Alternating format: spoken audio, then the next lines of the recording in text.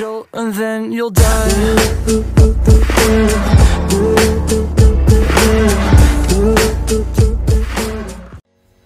Hey guys, so this would be my very first video. Hope you find this channel where I will provide you with series of reviews on shoes and might help you pick the right ones for yourself.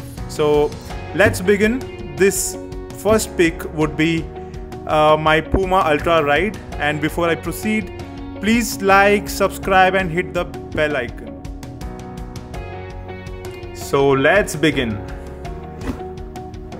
Okay, now with the shoes unboxing, there is nothing much to unbox apart from just shoes or some wrapping paper. Now, look at this. Now, that is impressive. Now, coming to the aesthetics, the shoe somehow looks really amazing. The one which I bought is the UK size 10, and the color is a good balance between the pure black, pure white, and some shades of the green for the contrast, making the shoe quite flashy and futuristic. Now, the Puma has its own signature for Pro Series logo, which is then outlined by electro green on the lateral sides. The shoe is built on the foundation of reductionist theory, that is, reducing everything to just logic. So, what do you think a runner would want in a shoe? Okay, so everything trickles down to two things responsiveness and cushioning, and this shoe is all about that. Now coming to the midsole, there is something really interesting here, the Pro plate or the propulsion plate. So the plastic-like material sewn to the sole is one of the best feature of the shoe. So what does this Pro plate does is that it helps the runner for a swift takeoff, also providing a maximum stability while taking strides. The midsole material is made from an enhanced EVA polymer, which is 43% lighter than the traditional EVA material.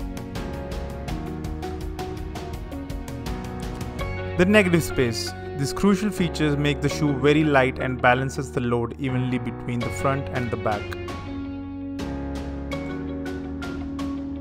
Let's talk about the outsole. Some small sections have been cut off right into the midsole where the undersock becomes a see-through. That means there is enough outlet for the sweat that prevents bad odor.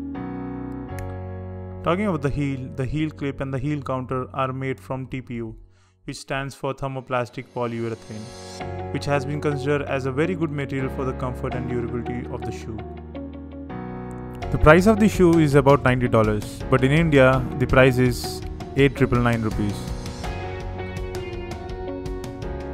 Now, why you would buy this product depends upon how much you like running. But if you want just to sport a good look, I think there are better options. See you till the next video. Give me all feelings, yeah. All around me are familiar faces, worn out places, worn out faces.